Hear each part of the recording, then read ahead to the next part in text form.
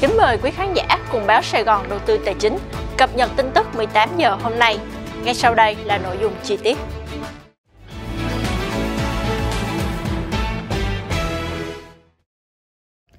Liên tục từ ngày 22 đến ngày 24 tháng 11, địa bàn các tỉnh Thừa Thiên Huế, Quảng Nam, Quảng Ngãi, Bình Định xảy ra mưa lớn. Có nơi lượng mưa đạt gần 200 mm, khiến sạt lở bủa vây khu vực miền núi.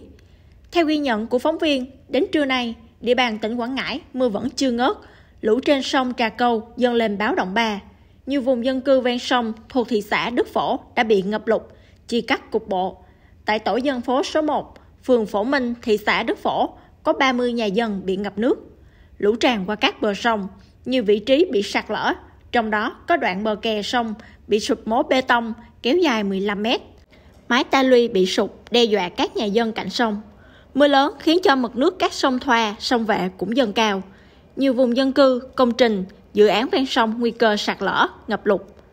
Trước đó, khoảng 6 giờ sáng ngày 24 tháng 11, tại km 36 600 của tỉnh lộ 624, đèo Eo Chim, thuộc địa phận xã Thanh An, huyện Minh Long, hơn 45 mét khối đất đá từ vách núi đổ xuống đường. Điểm sạt lở đã gây ảnh hưởng giao thông tuyến từ xã Thanh An đi xã Ba Điền, huyện Ba Tơ và ngược lại. Tại tỉnh Bình Định, mưa lớn khiến cho tuyến đường đang thi công từ xã An Hưng, huyện An Lão, đi La Vuông, xã Hoài Sơn, thị xã Hoài Nhơn bị sạt lở nghiêm trọng. Địa phương đang duy trì phương án ứng phó thiên tai 4 tại chỗ, chỉ đạo các địa phương huy động nhân lực để túc trực, kịp thời hỗ trợ người dân xử lý các tình huống nguy cơ.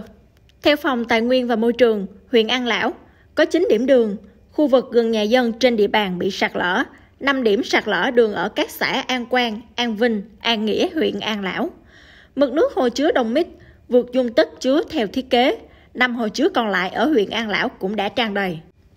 Để ứng phó với diễn biến bất thường của mưa lũ, công ty trách nhiệm hữu hạn khai thác công trình thủy lợi tỉnh Bình Định mở tràn xả nước ở hai hồ chứa lớn là Đồng Mít và Định Bình.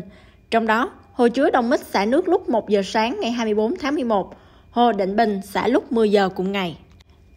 Tại tỉnh Quảng Nam, mưa lớn làm nhiều tuyến đường ở các huyện Nam Trà My, Bắc Trà My bị sạt lở, sụt lún nặng. Trong đó, quốc lộ 40B, đoạn qua ngã ba Trà Giác bị sạt lở nghiêm trọng, gây chia cắt hai huyện Bắc Trà My và Nam Trà My. Các đơn vị đã đưa lực lượng máy móc khai thông tuyến trong ngày. Mưa lớn đang tiếp diễn, biên độ lũ ở thượng lưu các sông lớn Quảng Nam cũng đạt 2 đến 4 mét, dự báo xuất hiện lũ. Từ 8 giờ ngày 24 tháng 11, Thủy điện sông Tranh 2, Hồ Phú Ninh, hồ thủy lợi lớn nhất Quảng Nam, cũng đã xả điều tiết. Tại tỉnh Thừa Thiên Huế, từ lúc 10 giờ sáng ngày 24 tháng 11, Ban quản lý hồ Tả Trạch, hồ chứa 500 triệu mét khối, đã điều tiết xả nước về hạ du với lưu lượng tăng dần, khoảng từ 200 đến 500 mét khối trên giây. Hồ Thủy Điện Bình Điền điều tiết về hạ du khoảng 200 đến 350 mét khối trên giây. Các hồ thủy điện và hồ thủy lợi khác trên địa bàn cũng điều tiết xả đáy. Tỉnh Thừa Thiên Huế đã sẵn sàng phương án di dời hơn 50.000 người dân vùng thấp trũng, nguy cơ sạt lở đến nơi an toàn. Sở Công Thương tỉnh Thừa Thiên Huế dự trữ 100 tấn gạo, 100 tấn mì cùng nhiều nhu yếu phẩm cần thiết khác để ứng cứu người dân trong trường hợp ngập lụt, chia cắt.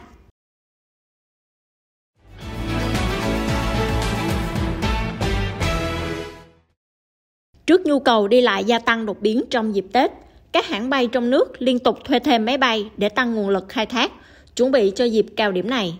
Mới đây, Viettravel Airlines nhận tàu bay thân hẹp thuộc Avion Express, nhà cung cấp dịch vụ cho thuê máy bay trụ sở tại Lisva.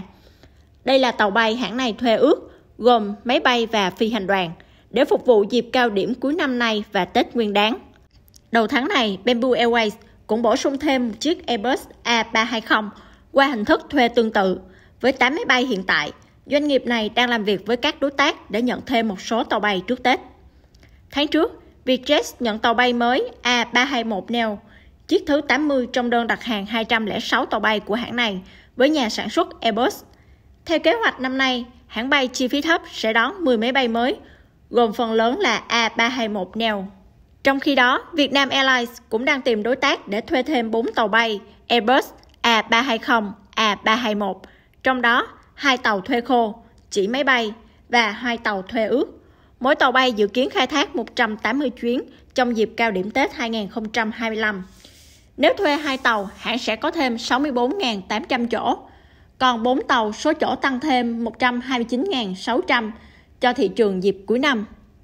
Giai đoạn vừa qua, thị trường hàng không Việt Nam thiếu máy bay trầm trọng do sự cố liên quan đến động cơ và việc tái cơ cấu của Bamboo Airways và Pacific Airlines. Cụ thể, đội tàu bay của các hãng giảm 40 đến 45 chiếc so với năm ngoái, góp phần đẩy giá vé máy bay lên cao ở nhiều thời điểm. Việc bổ sung thêm tàu bay cũng gặp khó khăn khi nhiều thị trường nước ngoài ghi nhận nhu cầu cao đẩy giá thuê lên theo. Đại diện một hãng hàng không trong nước cho biết, thời điểm hiện tại giá thuê tàu bay hạ nhiệt hơn do vào mùa thấp điểm du lịch, di chuyển của châu Âu. Bởi vậy, việc thuê với các hãng Việt Nam dễ thở hơn.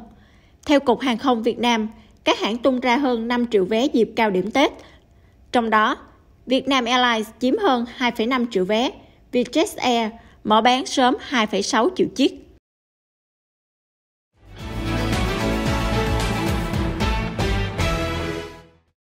Tổng thống Volodymyr Zelensky tối 24 tháng 11 cho biết Ukraine đang làm việc với các đồng minh để tìm cách phản ứng trước vụ Nga tập kích bằng tên lửa Oresnik hồi tuần trước. Ông Zelensky nói quá trình khám nghiệm mảnh vỡ đang được tiến hành để xác định tất cả thông tin liên quan tới tên lửa mới của Nga. Thế giới có những hệ thống phòng không đủ khả năng chống lại mối đe dọa như vậy. Đây là điều mà tất cả chúng ta phải chú trọng. Tổng thống Zelensky cho biết báo động không kích vang lên trên khắp Ukraine gần như mỗi ngày. Cụ thể, Nga thả khoảng 800 quả bom dẫn đường, phóng 460 máy bay không người lái và hơn 20 tên lửa các loại nhằm vào nước này chỉ trong một tuần qua. Ukraine không phải là nơi để thử nghiệm vũ khí, mà là quốc gia có chủ quyền và độc lập.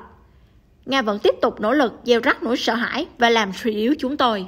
Bộ Tư lệnh Không quân Ukraine thông báo đã bắn hạ 50 trong số 73 UAV tự sát mà Nga triển khai trong đêm 23 tháng 11 và rạng sáng 24 tháng 11. Các đơn vị phòng không tại thủ đô Kiev thông báo đã đánh chặn hơn 10 UAV của Nga. Hiện chưa có thông tin về thực hại hoặc thương vong.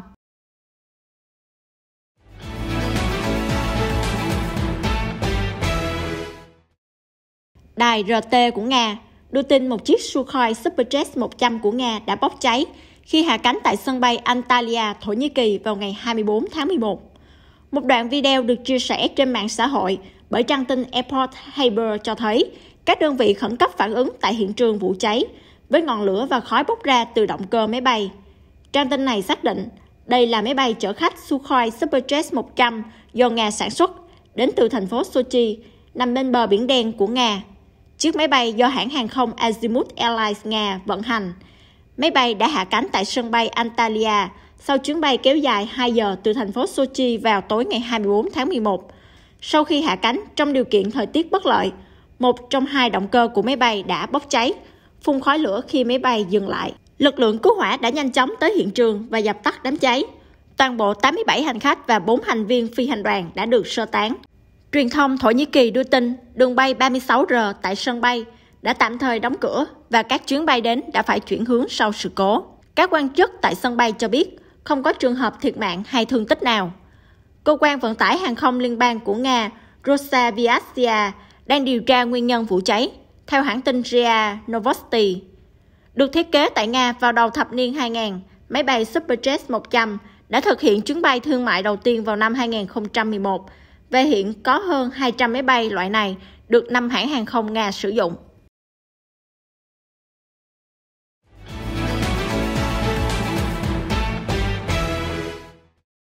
Lực lượng Hezbollah ngày 24 tháng 11 tuyên bố hạ 5 xe tăng Merkava của Israel ở ngoại ô phía đông làng Bayada ở miền nam Lebanon, cách biên giới với Israel khoảng 10 km.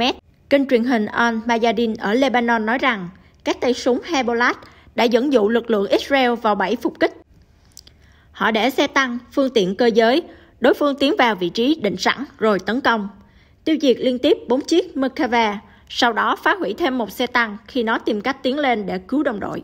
Hãng thông tấn nhà nước Lebanon NNA nói đoàn 30 xe quân sự của Israel đã phải rút khỏi làng Bayada sau khi Hezbollah phá hủy một số xe tăng.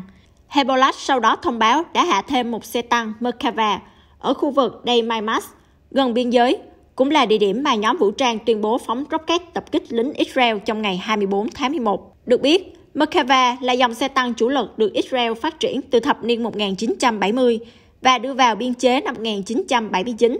Chúng được thiết kế nhằm cung cấp khả năng bảo vệ tối đa cho tổ lái, với giáp mặt trước được gia cố, động cơ nằm ở mũi xe và tháp pháo lùi về phía sau, cùng cửa ra vào ở đuôi xe. Đây được mệnh danh là mẫu xe tăng được bảo vệ tốt nhất thế giới hiện nay. Al Mayadin hôm 22 tháng 11 cho biết, Hezbollah đã phá hủy 50 xe tăng dòng Merkava của Israel kể từ khi Tel Aviv mở chiến dịch trên bộ ở miền nam Lebanon hồi đầu tháng 10. Hezbollah cuối tháng trước cũng công bố video một tay súng phóng tên lửa dẫn đường Hamas bay vòng qua ngọn đồi lớn. Sau đó, điều khiển nó lao xuống khoang chứa đạn pháo ở đuôi xe tăng Merkava Israel.